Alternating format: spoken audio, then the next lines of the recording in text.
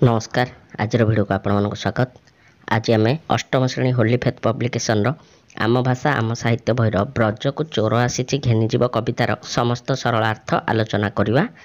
ତେବେ ଚାଲନ୍ତୁ ଡେରି ନକରି ଭିଡ଼ିଓ ଆରମ୍ଭ କରିବା। କିନ୍ତୁ ଚ୍ୟାନେଲରେ ନୂଆ ଥିଲେ ଚ୍ୟାନେଲକୁ ସବସ୍କ୍ରାଇବ୍ କରିଦିଅନ୍ତୁ କାହିଁକିନା ଦେଖନ୍ତୁ ଏତେ ଲୋକ ଆପଣମାନେ ଭିଡ଼ିଓ ଦେଖୁଛନ୍ତି କିନ୍ତୁ ସବସ୍କ୍ରାଇବ୍ କରୁନାହାନ୍ତି। ତ ଏବେ ସବସ୍କ୍ରାଇବ୍ କରିଦିଅନ୍ତୁ ତ ଚାଲନ୍ତୁ ଭିଡ଼ିଓ ଆରମ୍ଭ କରିବା। ଚାରି ନମ୍ବର କ ପ୍ରଥମ ସରଳାର୍ଥ ଥିଲା ଗ୍ରାମ ନିଶବଦ ହେଲାଣି କି ତତେ ନିଦ ଆସୁନାହିଁରେ ଉତ୍ତର ଲେଖିବା ଉକ୍ତ ପଦ୍ୟାଂଶଟି ଆମ ଭାଷା ଆମ ସାହିତ୍ୟ ବହିର ବ୍ରଜକୁ ଚୋର ଆସିଛି ଘେନିଯିବ ଶୀର୍ଷକ କବିତାରୁ ଆନିତ ଏଠାରେ କବି କଳହଂସ ଗୋପାଳକୃଷ୍ଣ ପଟ୍ଟନାୟକ ମାତା ଯଶୋଦା ଶ୍ରୀକୃଷ୍ଣଙ୍କୁ ଶୁଆଇବା ପାଇଁ ଚେଷ୍ଟା କରିବା ସମୟରେ ଶ୍ରୀକୃଷ୍ଣଙ୍କୁ କିପରି ନିଦ ଆସୁନି ତାହା ବର୍ଣ୍ଣନା କରିଛନ୍ତି।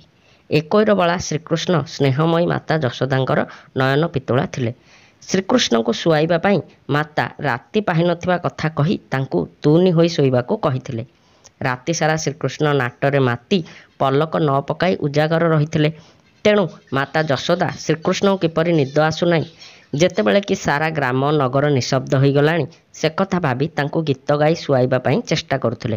ଏଠାରେ ମାତା ଯଶୋଦାଙ୍କ ବାତ୍ସଲ୍ୟ ମମତାର ନିଦର୍ଶନ ମିଳେ। ଖ ନମ୍ବର ପ୍ରଶ୍ନ ପାଦ ବଥାଇବ ପରା ଆହୁରି କି ନାଟ ଅଣ୍ଟି ନାହିଁରେ ଆଲୋଚ୍ୟ ପଦ୍ୟାଂଶଟି ବ୍ରଜକୁ ଚୋର ଆସିଛି ଘେନିଯିବ କବିତାର ଅଂଶବିଶେଷ। ଏଠାରେ କବି ଗୋପାଳକୃଷ୍ଣ ପଟ୍ଟନାୟକ ଜନନୀ ଯଶୋଦାଙ୍କ ଶ୍ରୀକୃଷ୍ଣଙ୍କ ପ୍ରତି ମାତୃସୁଲଭ ଚିନ୍ତାକୁ ବର୍ଣ୍ଣନା କରିଛନ୍ତି। ଭଗବାନ ଶ୍ରୀକୃଷ୍ଣଙ୍କର ବାଲ୍ୟଲୀଳା ଅବଧିରେ ମାତା ଯଶୋଦାଙ୍କର ଅପୂର୍ବ ବାତ୍ସଲ୍ୟ ମମତାର ଉଦାହରଣ ରହିଛି। କୃଷ୍ଣଙ୍କୁ ସନ୍ତାନ ରୂପେ ପାଇ ମାତା ଯଶୋଦା ବାତ୍ସଲ୍ୟ ମମତାରେ ବିଭୋର ହୋଇ ପୁତ୍ରର ସ୍ନାନ ଭୋଜନ ଶୟନ ପ୍ରଭୃତି ପରିଚର୍ଯାରେ ବ୍ୟସ୍ତ ରହୁଥିଲେ। ସମସ୍ତ ଗ୍ରାମ ନଗର ନିଶିଥିନୀ ପ୍ରଭାବରେ ନିଶବ୍ଦ ହୋଇ ପଡ଼ିଥିବା ସମୟରେ ଶ୍ରୀକୃଷ୍ଣଙ୍କୁ କିପରି ନିଦ ଆସୁନି ସେଥିପାଇଁ ମାତା ଚିନ୍ତିତ ଥିଲେ। ରାତିସାରା ଶ୍ରୀକୃଷ୍ଣ ନାଟରେ ମାତିଛନ୍ତି।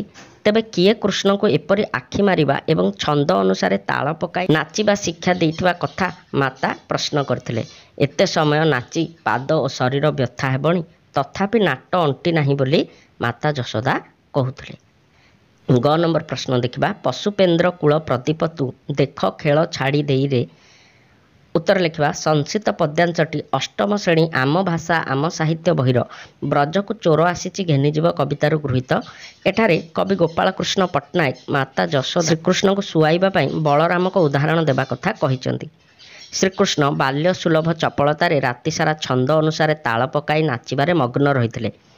ସମଗ୍ର ସଂସାର ରାତ୍ରି ଆଗମନରେ ନିଶବ୍ଦ ହୋଇପଡ଼ିଥିବା ବେଳେ ଶ୍ରୀକୃଷ୍ଣଙ୍କୁ ନିଦ୍ରା ଆସୁନଥିଲା।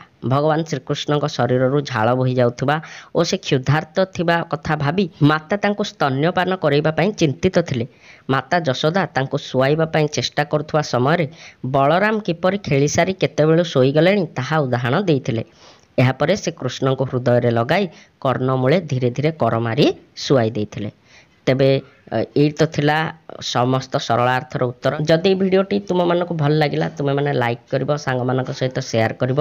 ଚ୍ୟାନେଲରେ ନୂଆ ଥିଲେ ସବସ୍କ୍ରାଇବ୍ କରିଦିଅ। ଆମେ ଦୁଇ ହଜାର ସବସ୍କ୍ରାଇବରର ବହୁତ ପାଖକୁ ପହଞ୍ଚି ଗଲେଣି ତୁମେମାନେ ଚାହିଁଲେ ଦୁଇରୁ ତିନି ଦିନ ମଧ୍ୟରେ ମଧ୍ୟ ଏଇ ଦୁଇ ହଜାର ସବସ୍କ୍ରାଇବରର ମାଇଲ ଷ୍ଟୋନ୍କୁ କମ୍ପ୍ଲିଟ୍ କରାଇ ଦେଇପାରିବ ତେବେ ମୁଁ ଏଇଭଳି ଆଉ ଗୋଟେ ଭିଡ଼ିଓରେ ଦେଖାହେବି। ସେ ପର୍ଯ୍ୟନ୍ତ ମୋତେ ବିଦାୟ ଦିଅ। ରହୁଛି। ନମସ୍କାର।